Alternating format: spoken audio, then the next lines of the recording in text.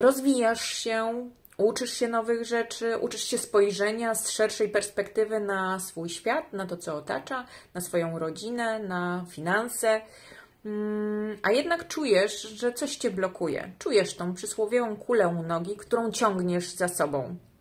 Jak ją zdefiniować? Co to jest ta kula u nogi? Co to jest ta ściana, czy inna, mm, nazwij ją w dowolny sposób, blokada, która uniemożliwia tobie, żeby z lekkością iść dalej w zgodzie ze swoją ścieżką serca. Lekko i przyjemnie. Może to być ego. Ten konstrukt, który nam towarzyszy przez większość naszego życia, może wyrażać się w różny sposób.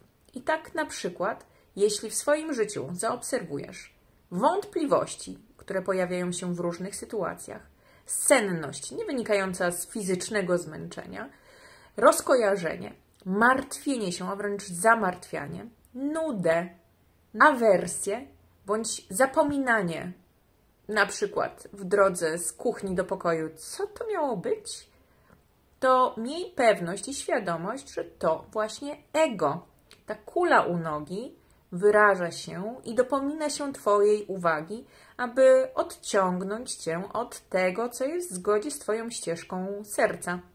W tego, w tego, do czego dążysz, tego, co Ci da ten spokój.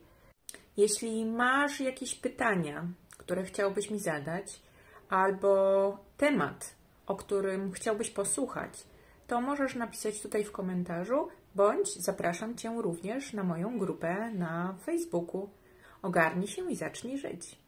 Do zobaczenia.